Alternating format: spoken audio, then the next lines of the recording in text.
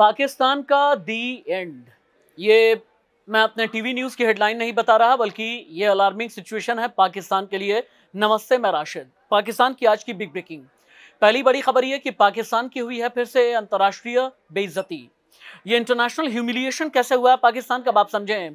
पाकिस्तान सरकार की जो ऑफिशियल वेबसाइट है और ऑफिशियल माफ़ कीजिएगा ऑफिशियल ट्विटर हैंडल जो है, इसे भारत सरकार की रिकमेंडेशन के बाद में ट्विटर ने बैन कर दिया है, अकाउंट को ब्लॉक कर दिया है, अकाउंट विदहेल्ड कर दिया गया है।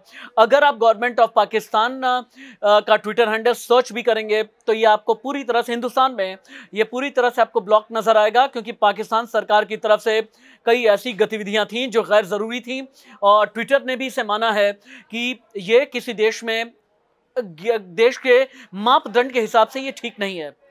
अगला ये कि पाकिस्तान में एक किलो आटे की कीमत दो सौ बीस रुपये के पास चली गई है। पाकिस्तान में आ, सस्ते और फ्री के आटे के लिए भगदड़ मच गई है। लाहौर कराची खैबर पख्तूनख्वा सिंध बलूचिस्तान और पाकिस्तान का जो पंजाब है वहाँ पर आटा बट रहा था। इसके लिए मारकाट मच गई। ग्यारह लोगों की मौत हो गई है। पैंसठ से ज़्यादा लोग घायल हो गए हैं। रमज़ान के वक्त में 11 लोगों की आटे की वजह से मौत होना शहबाज सरकार के लिए बहुत बड़ी चुनौती बन करके आया है और इमरान खान ने एक बार फिर से शहबाज शरीफ को घेरा है।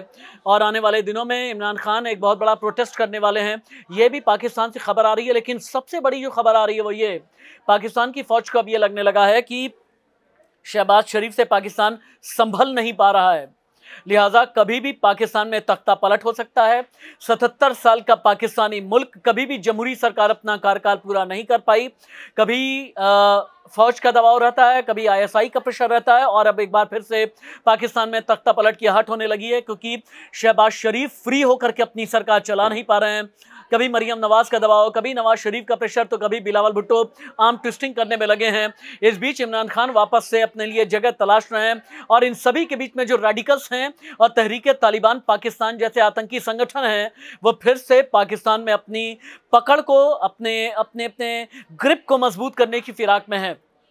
उस पर से भी ज़्यादा जो बुरा हाल है पाकिस्तान का वो ये कि पाकिस्तान गृह युद्ध के मुहाने पर है और पाकिस्तान में कभी भी सिविल वॉर की वजह से बहुत ज़्यादा भगदड़ मच सकती है। नमस्ते।